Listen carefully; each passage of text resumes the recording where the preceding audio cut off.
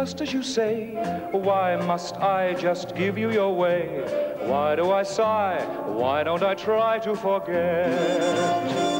It must have been that something lovers call fate kept on saying I had to wait. I saw them all, just couldn't fall till we met. It had to be you, wonderful you. I wandered around, finally found somebody who could make me be true, could make me be blue, and even be glad just to be sad thinking of you. Some others I've seen might never be mean, might never be cross, try to be boss, but they wouldn't do. For nobody else gave me that thrill. With all your faults, I love you still. It had to be you, the wonderful you, had to be you. You may be wondering what I am doing on a show like this, but I do assure you it was completely accidental. I walked into Thames Studios about uh, two weeks ago uh, to rehearse a drama, and I walked into the wrong studio. So they said, now you're here, do a show. I thought, why not? There's not a word of truth in any of it. Tonight, my friends are Beryl Reid, Patrick Cargill, Nina, and my old friend Russell Hunter. Some others I've seen might never be mean, might never be cross, try to be boss, they wouldn't do. For nobody else gave me that thrill. With all your faults, I love you still. It had to be you, wonderful you, had to be you.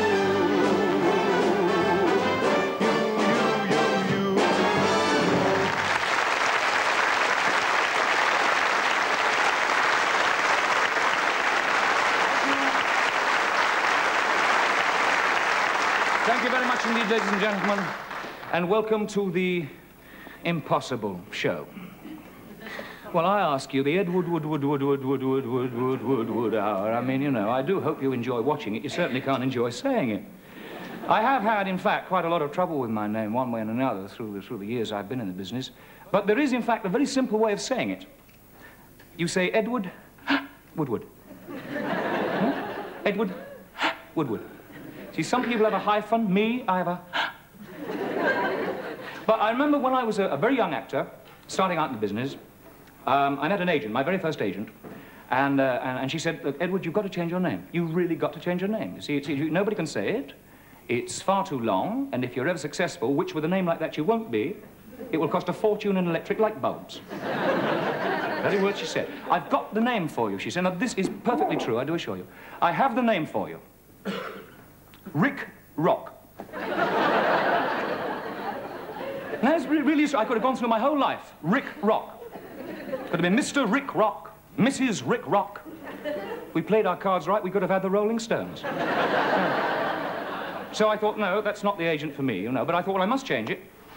And everybody was talking about Olivier at the time I was starting out. We were all, you know, we hero worship him, and we still do. And uh, so I thought, my father's name is Oliver. So that's near Olivier, you see. And um, my own name's Woodward, right? So I cut that in half, called myself Ward. In fact, uh, what you might say, I just cut out the dead wood, you see.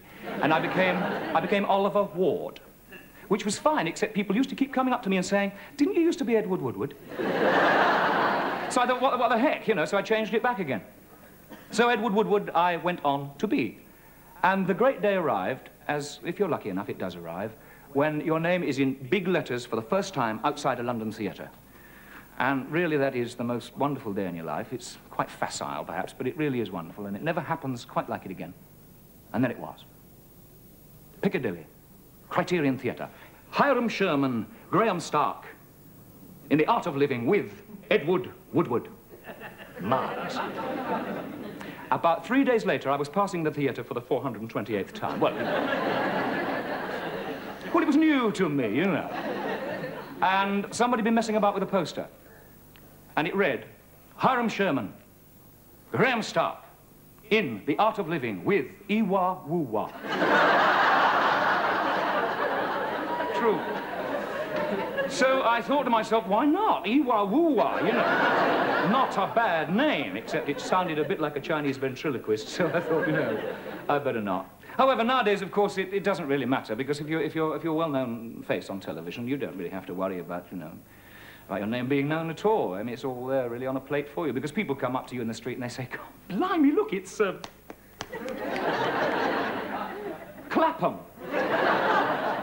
Uh, but even that doesn't happen nearly so much nowadays because, uh, you know, happily for me, people do know my name uh, as opposed to the character I play, which, which is nice, you know. And it's rather charming sometimes to be in a big store or, or in a shop, a bus, whatever it is, and you hear somebody behind you say, hey, look, look, look, look who's that, who's that? You know who that is, who that is. Look, look over there. And say, no, no, no, who is it, who is it? You know, it's that actor, that actor, Edward Woodward, Wood, Wood, Wood, Wood. You can't win. And uh, now, ladies and gentlemen, if you will uh, excuse me for just a moment, I have a little job to do.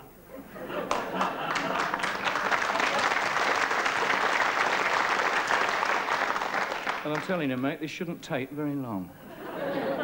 But while I'm gone, behave yourselves. Yeah,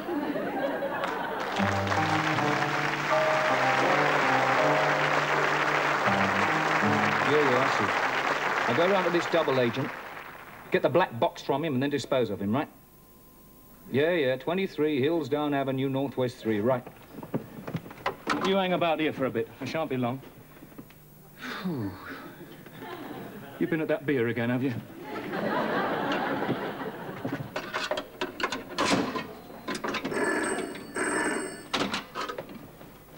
Hello? No, he's gone. The wrong address. But he's gone to kill a man that lives there. Whoever he is. Yeah, well, well, of course it's broken. I've been trying to get the test match and I can't even get the test card. Well, this time send somebody around who knows something about television. After the last fella left, Miss World was two feet high and five feet wide.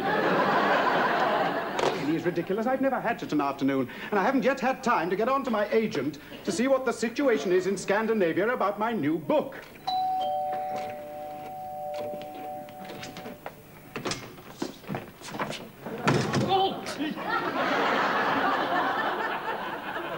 Right, darling, I want it, and I want it quick. Daddy, there's a man who, here who wants it and wants it quick. What's this? Right. Where is it? Oh, it's the second door on the left at the top of the stairs. But, uh, you'll have to be careful. It doesn't flush out too well. Don't you come the old acid with me, mate. I'll come about the box. Oh, the box. Oh, I've been expecting you. You have? Yes, yes, and I hope you know what to do. Because the other fella bungled the whole thing. I had to get rid of him. do you know, ever since I've had the damn thing, I've had nothing but trouble. Trouble? With the CIA? No, the ITV. You mean the KGB? Well, it could be the UHF. Blimey, are they involved? Where is it? Where is it? Well, can't you recognize it? Look, it's over there, isn't it? All right, stand back, stand back. Oh! It's not my day, is it? Right, is, is this valuable? Well, it is, as a matter of fact, yes. Right. It was given to me. That's a funny way to mend a television set. Excuse me a moment. Uh, no, ju- just one moment. Uh, Do you mind? Tell me, just exactly how experienced are you in your job? Oh, don't you worry, mate. I know all about jiu-jitsu and karate. Yes, but this happens to be a British set. Go and make some tea. That might calm him down a bit. Gracious Right. Yeah. There's no box there. Well, of course the thing doesn't work then. Right, mate, if that's the way you want it, mate, that's the way you are going to have it. Hmm? I, want, I wonder if you could give me a hand. It, it's got, got caught in the lining. Oh, dear, oh, dear, what a shame. Mo- Most embarrassing. Oh, don't you worry about that. I'm perfectly to have to help. You're not going to use that on it, are you? No, I'm going to use it on you, mate. Me? Why? You have gone over to the other side. Oh, well, I'll come back to this side then. Look, uh, just a minute. Look, if you don't mind my saying so, on our very brief and short acquaintanceship, it seems to me that you are a right flaming nut! Nut. That's it. Right. Flaming nut. Yes, a flaming nut. Flaming nut. Get Dr. Jenkins on the phone quickly. Listen, we know all about your behavior behind the curtain. You do? Oh, yes. Oh, yes, we've blown your cover. We've had photographs taken of you and your agent. What? But we were simply going through our Scandinavian position. and we don't need a cover for that. We've had a tail on you for months. You have? Oh, yes, there's a bug in your mattress. Is there? And a tap on your phone. I'll get the GPO to send a plumber. Listen, mate, I want that box and I want it now. Now I'm going to count three. One, Oh, no, please, listen. two. No, just a minute, please.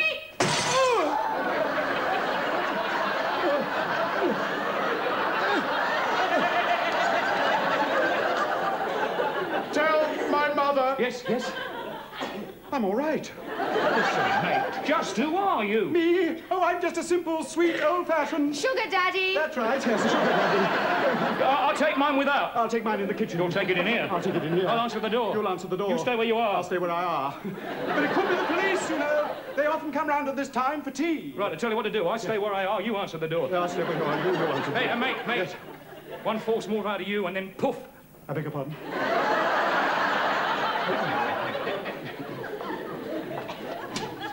Oh, Inspector Higginbottom, do, do come in, please. I'd like you to meet Mr. Hello, Mr. Tucker. Uh, uh, you two know each other? Yes.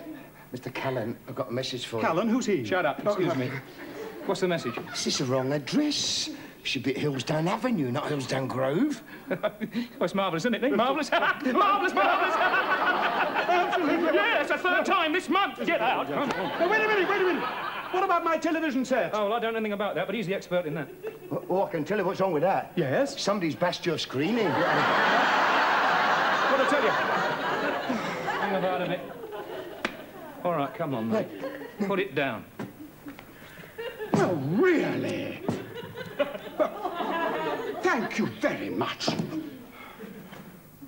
No, that's not mine. You're bloody right. That's mine, you thief.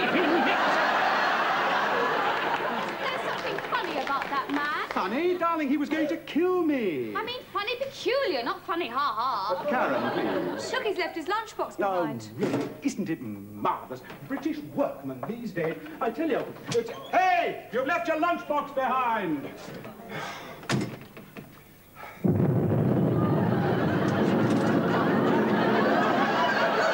Oh, you've done it now.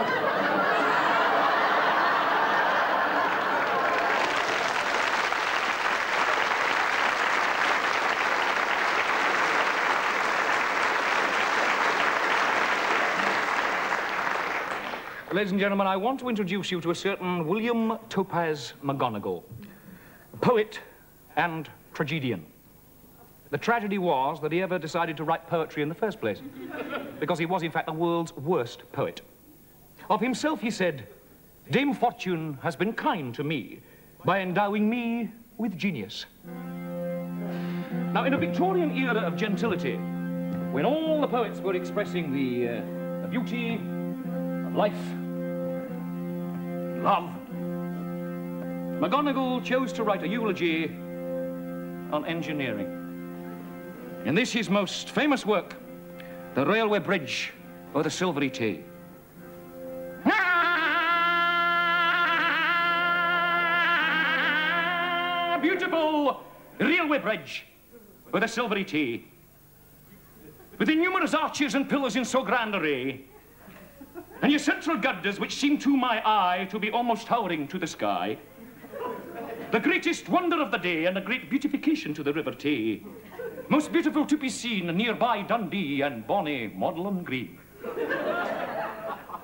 Beautiful railway bridge of the Silvery Tay that has caused the Emperor of Brazil to leave his home far away. Incognito in his dress to view thee ere he passed along free Inverness. Beautiful railway bridge of the Silvery Tay, and prosperity to Provost Cox, who has given £30,000 and upwards away in helping to erect the Bridge of Tay, most handsome to be seen nearby Dundee and Bonnie, Magdalen Green. Beautiful railway bridge on the Silvery Tay, and prosperity to Messrs. Bouch and Grothe, the famous engineers of the present day who have succeeded in erecting the railway, bridge or the Silvery Tay, which stands unequal to be seen nearby Dundee and Bonnie, Magdalen Green. Unfortunately, it fell down. so then he wrote another poem telling the engineers exactly where they'd gone wrong. And he said something rather like this. Oh, ill-fated bridge for the Silvery Tay. I must now conclude my lay by telling the world fearlessly and without the least dismay that yon central girders would not have given way.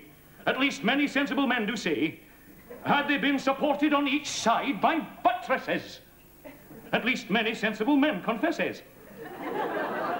For the stronger we do our houses build, the less chance we have of being killed. well, they did rebuild the Tay Bridge. And what pleased McGonagall more than anything else was apparently they'd taken his advice. Beautiful new railway bridge Silvery Tay, with your strong brick piers and buttresses in so grand array, and your 13 central girders which seem to my eye strong enough all the windy storms to defy. As I gaze upon thee, my heart feels gay, because thou art the greatest railway bridge of the present day, and can be seen for many a miles away from north, south, east, or west of the Tay on a clear and sunshiny day.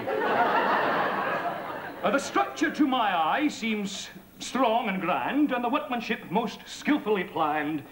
And I hope the designers, Messrs. Barlow and Arrol, will prosper for many a day for erecting thee across the beautiful Tay. And I think nobody need have the least dismay to cross o'er thee by night and day, because thy strength is visible to be seen nearby Dundee and Bonnie, Magdalen Green. and for beauty thou art most lovely to be seen.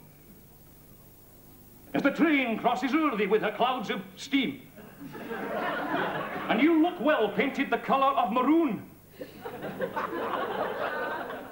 and to find thy equal there is noon. the New Yorkers boast about their Brooklyn Bridge, but in comparison to thee, it seems like a midge. because thou spanest the Silvery Tay, a mile and more longer, I venture to say. Besides, the railway carriages are pulled across by a rope. Therefore, Brooklyn Bridge with thee cannot possibly cope. and as you have been opened on the 20th day of June, I hope Her Majesty Queen Victoria will visit you very soon because they are worthy of a visit from Duke, Lord, or Queen. And strong and securely built, which is most worthy to be seen altogether now, nearby Dundee and bonny Magdalen Green.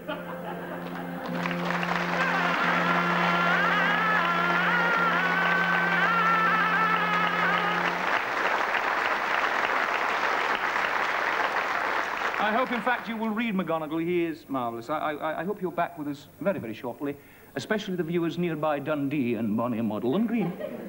Yes, uh, no offence, Jock.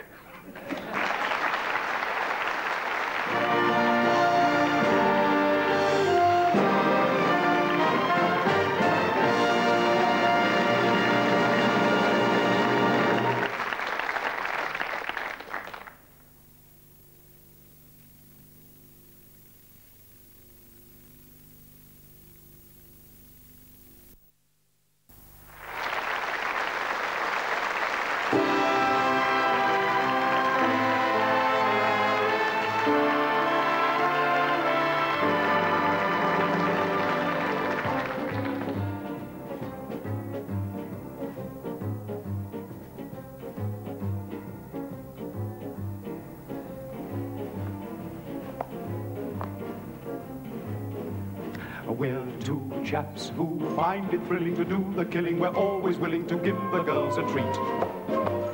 Just a drink at the Ritz, call it double or quits. Then we feel the world is at our feet. A top hats, grey spats, look divine on us. There's a shine on us. Get a line on us when we come your way. Gad, 11 o'clock. Let's pop into the truck and we start the business of the day. As we stroll down a Piccadilly in the bright morning air. All the girls turn and stare. We're so nonchalant and take the debonair as we chat to Rosemont or Lily. You should see the way their boyfriends frown. For they know without a doubt that their luck's right out up against a couple of men about town. I say, hmm? Uh, do you know Charlie Caldecott? Charlie Caldecott? Yeah. No, no. I knew a tiger Caldecott once got terribly, terribly drunk one night, threw a policeman into the Serpentine. Any relation? Oh, yes, his mother. I say, what about Deirdre Gore Stwitchley? Horsewoman of the Year. Good Lord. Without a horse, too. Really? I've just spent a weekend with the Marchmonts. Oh, the Marchmonts. Lovely people. Farm in Sussex, don't That's they? right, yes, yes, yes. Do you know Piggy Marchmont? No, no. What does he do? Oh, nothing much. He's one of their pigs. Good old piggy. I see. uh, Look, should you ever run into Prunella Chutt, be frightfully careful of her. She keeps a stiletto in the top of her stocking to defend her honor. Really? Well, why fight for a lost cause? As we stroll down a Piccadilly, all the girls say, Who's here? Uh, Put your hat straight, my dear. For it's Marmaduke and Percy of as we doff hats. Each pretty filly gives a wink at us and then looks down. For they long with all their might for a red hot night when they see a couple of men about. See a couple of men about town. My dear chap. Oh, excuse me. Miss Clark. And now, ladies and gentlemen, Beryl Reid and I are going to watch a little television.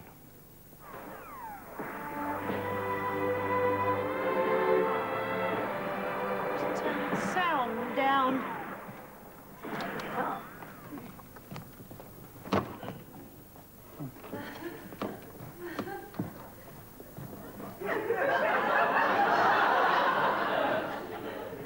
Don't think much of this program, do you? Just switch it over. Oh, I shouldn't bother. There'll probably be something else on in a minute. Oh.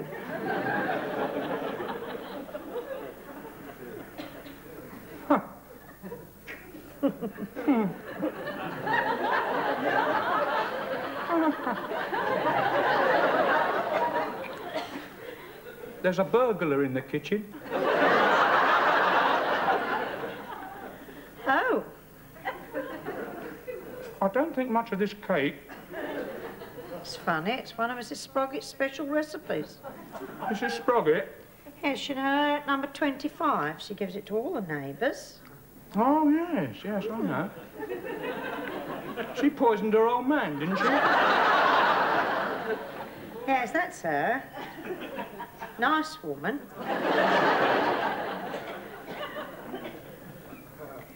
Very nice.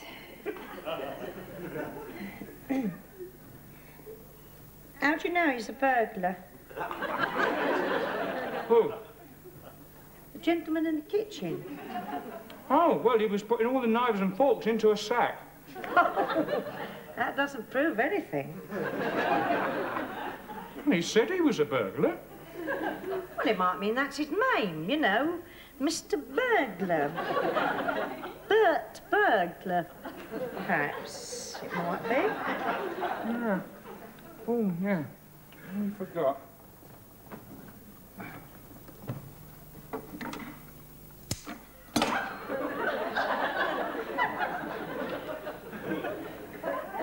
What'd you do that for? He asked me to do it, didn't he? he said somebody might call the police.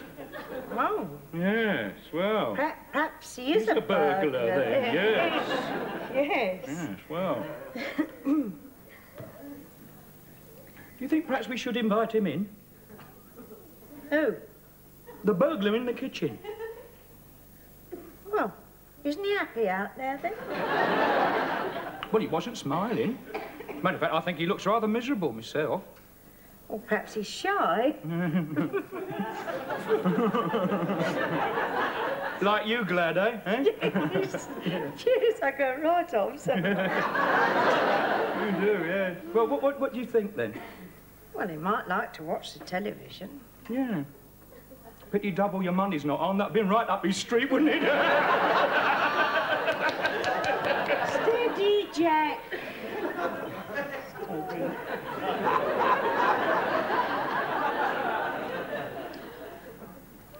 Well, what do you think, then? Shall I? Yes, go on. Go and ask him. All right, then.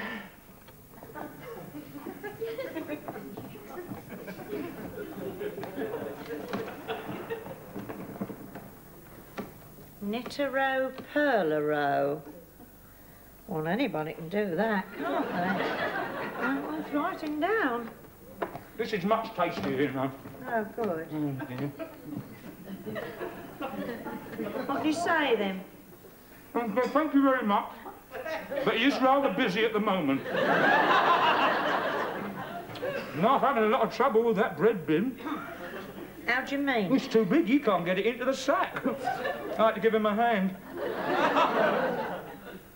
What's he want a bread bin for? I don't know, perhaps his own's wore out. Well, would you like some bread? I don't think that's very bad for you, bread. I didn't think to ask him. Oh, I mean, bread bin's no good with no bread, is it? You'd better go and ask him. It Wasn't very nice of you. You go and ask him if he'd like some bread. Oh, but do I have to? You have to, Jack. You know, And while you're out there, just tell him there's a little box in the sideboard drawer with earrings in it. He might like that. Oh, I don't think so. He doesn't look the type to wear earrings to me. You never know. You ask him. Cheeky, aren't I? Oh, pattern's upside down. Never mind. Make a nice polo neck for a tiny gentleman.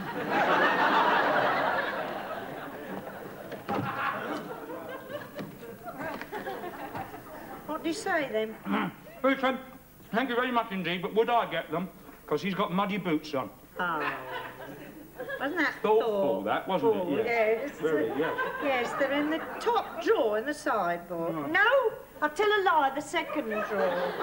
No, no!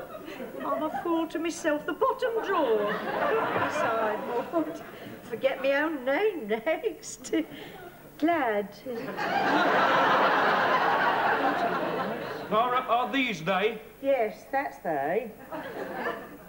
Oh, go on.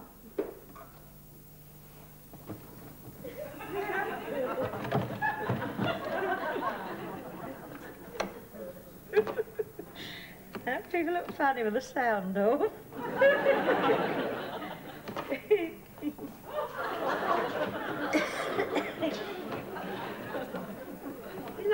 you like them? Yes, you like them very much. He said, thank you very much, and you're very kind. Oh, good. He's gone now. Oh, it's nice. He was a nice chap, you know that. Was he? He was very quiet, glad. Yes. Hello. Hello. Hello, oh, then. Have a Oh. nice evening. Hello, Hello, yes. then, yes. Oh, Yes. Thanks ever so much for babysitting for me. Oh, Any trouble? Trouble? No. Children. Not a peep out of the Children. children. No, no. we must Well, we must go uh, home, now. home what? now, yes. Glad, yes. We don't like to leave our place unattended too long, you see. Shall I get out and open the, right. your legs in the way? Oh, Small house, really. Yes, yes that's right. Was it raining when you come in? No. Was when we come in, up me plastic pixie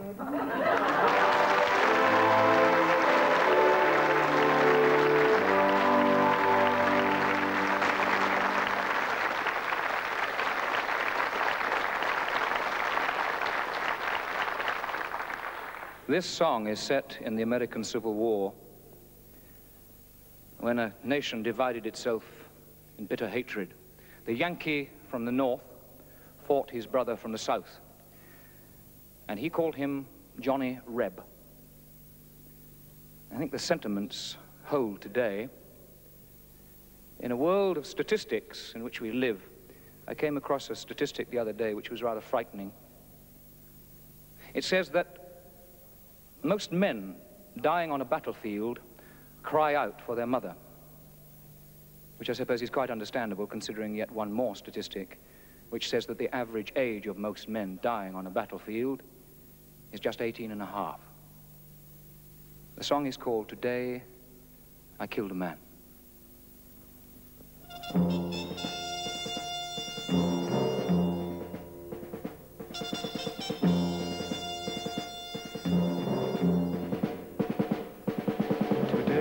I killed a man I didn't know.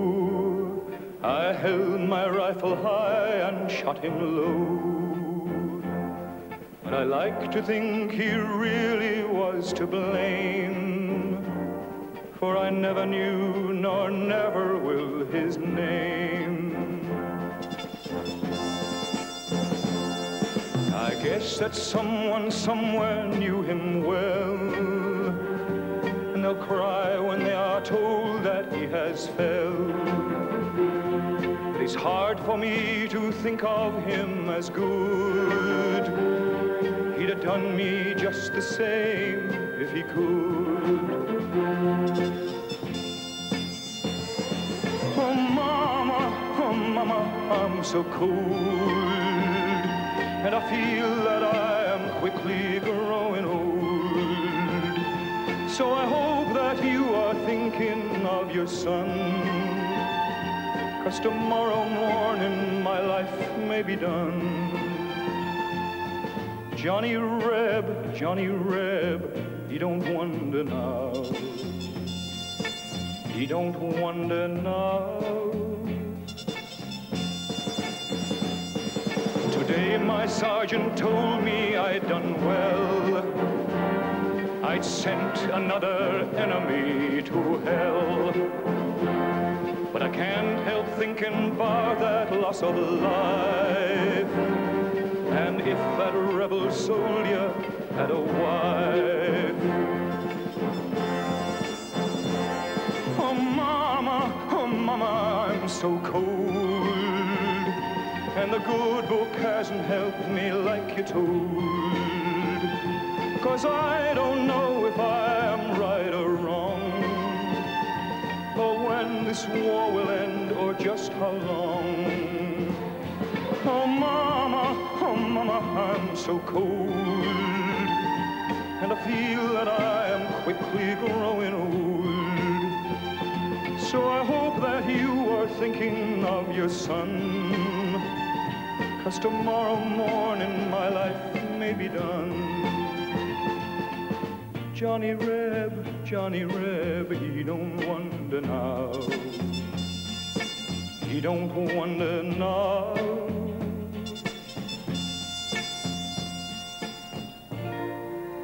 Johnny Reb, oh Johnny Reb, he don't wonder now.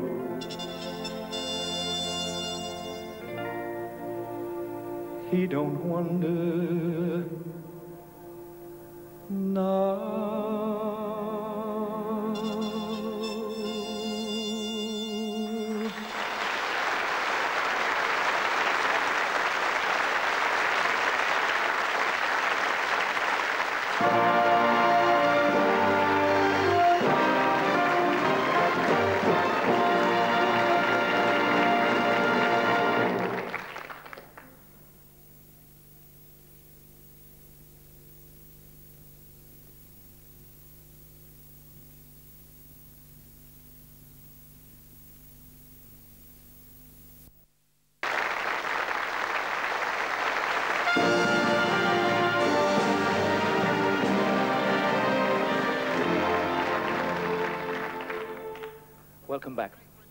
Ladies and gentlemen, my next guest is usually referred to as Danish, beautiful, cool, and sparkling. She's beginning to think she's a glass of lager. I prefer to say simply, Nina.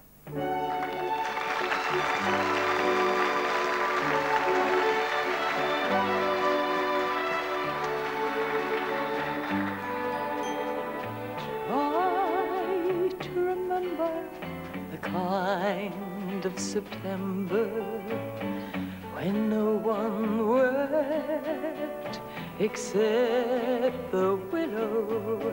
Try to remember the kind of September when dreams were kept beside the pillow. Try to remember the kind love.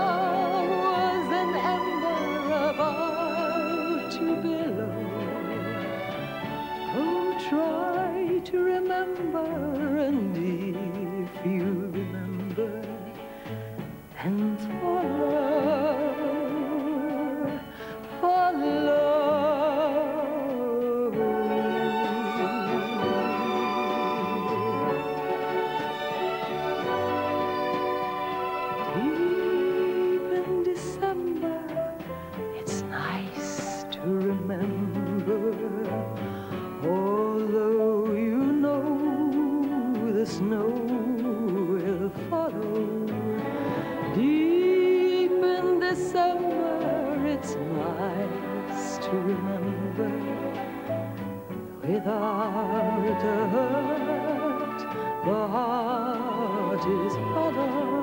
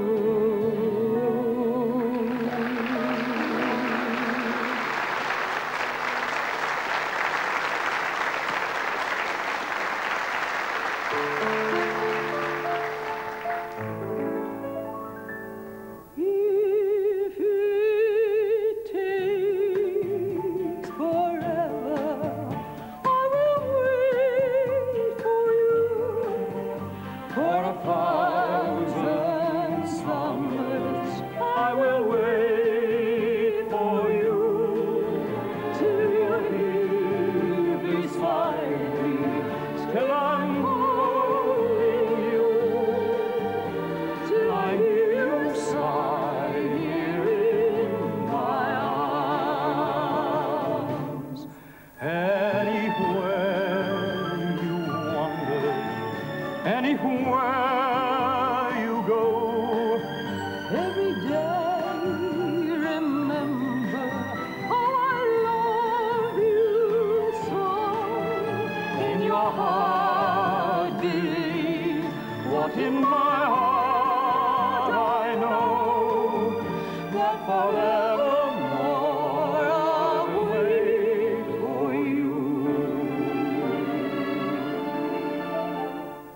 clock will take away the hours one by one. And then will come the time when all the waiting's done. The time when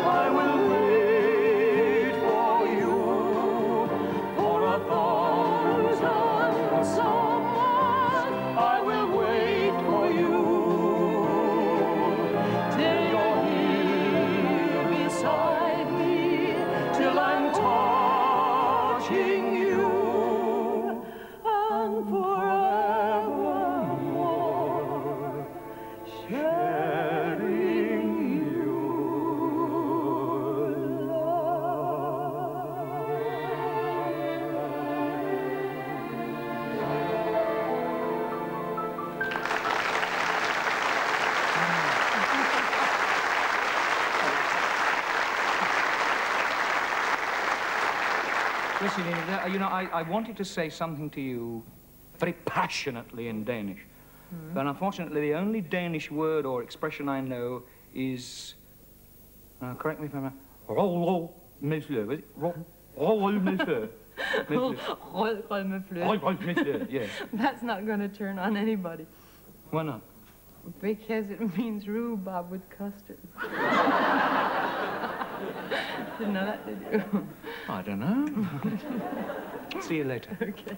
Just imagining all those poor Danish actors in crowd scenes who have to keep going around saying all their lives, oh, oh, oh, oh, oh, oh. Chicken farm. Um, Beryl Reid and I were discussing, not so very long ago, trends in, in theatre. And, uh, you know, we're discussing the Rattigan plays and the Noel Coward plays and that kind of sort of theatre. And uh, right down to the kitchen sink. And we were wondering what it would be like if you combined these two elements in one play. And we think you might come up with something rather like this.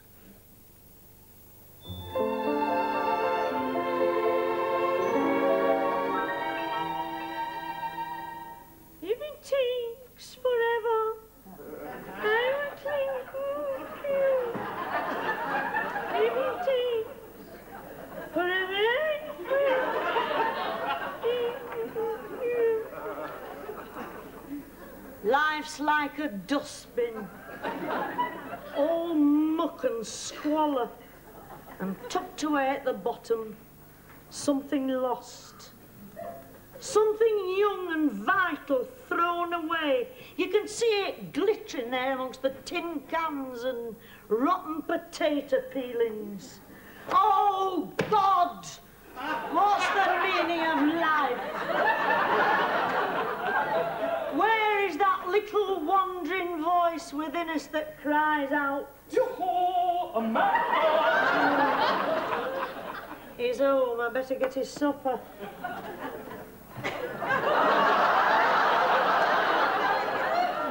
hello, hello. No, no, What? don't move. Let me remember you just as you are. The light shining into your eyes. The soft tresses of your hair falling caressingly into your flying pan. Have you been in the bottle again? Don't worry, love. The grub won't be long. I'll just warm up your kidneys for you. Ah, good, good. So we're dining in tonight. Yes. I'll light the candle on the dustbin. Amanda, my dearest, have you seen my lighter anywhere? No, look for it. Someday I'll find you. No, no, no. Amanda, my dearest, dearest duck, don't take the dishes out of the sink. You're not going to have another bath, are you? yeah, have a cup of tea instead. Yeah. Thank you. It's all right.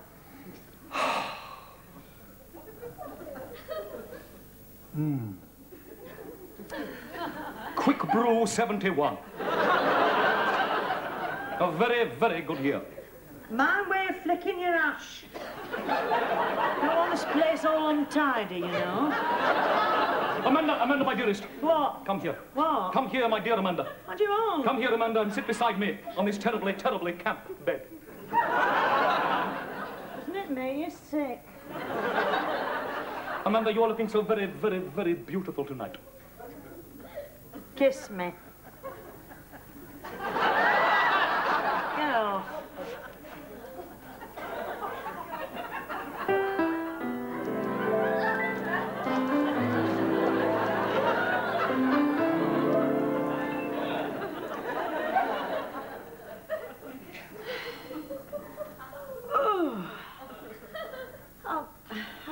Quite what to say.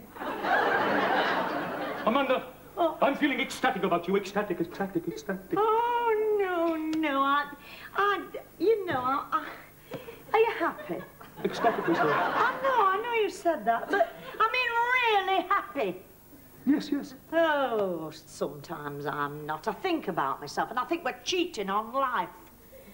I find myself, I look at myself, you know, and I find myself crude, common, deceitful, lacking in moral fibre, despicable, detestable, evil, and worthless. Well, nobody's perfect. no. You know what I'm talking about. It's her. Your wife.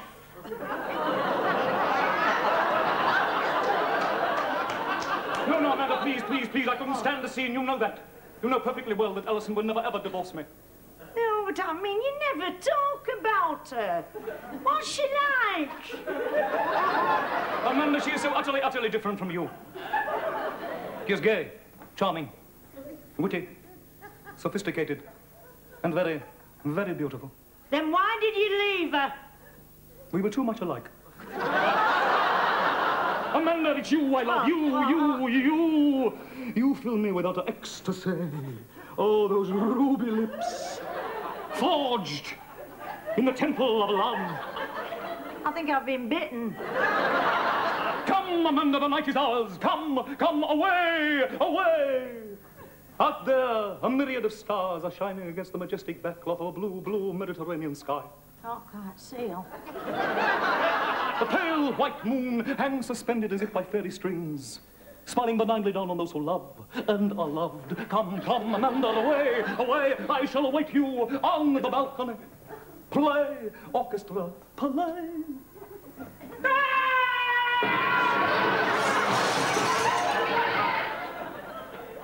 Bloody fool, we haven't got a balcony.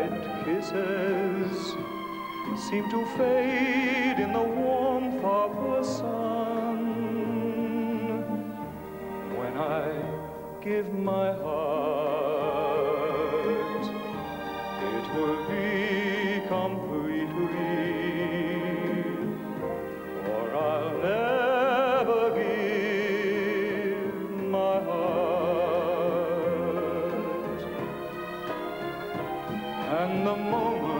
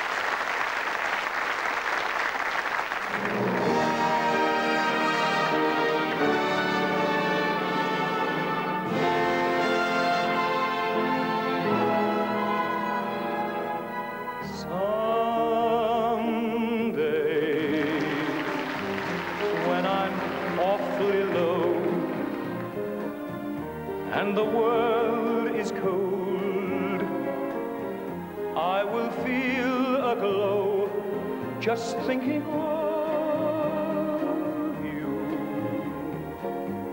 And the way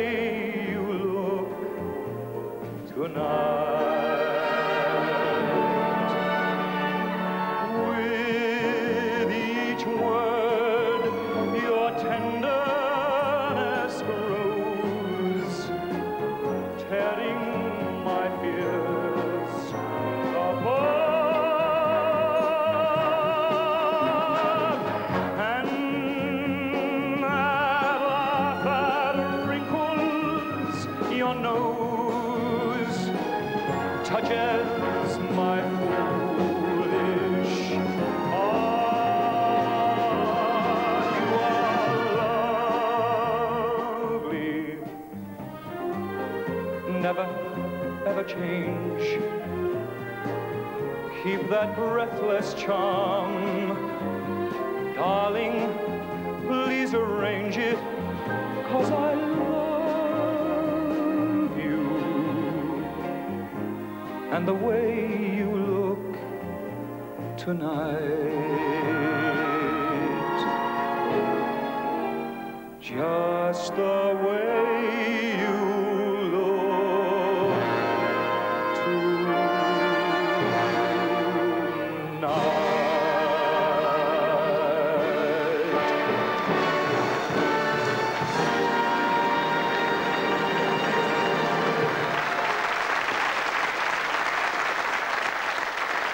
Ladies and gentlemen, Miss Beryl Reid.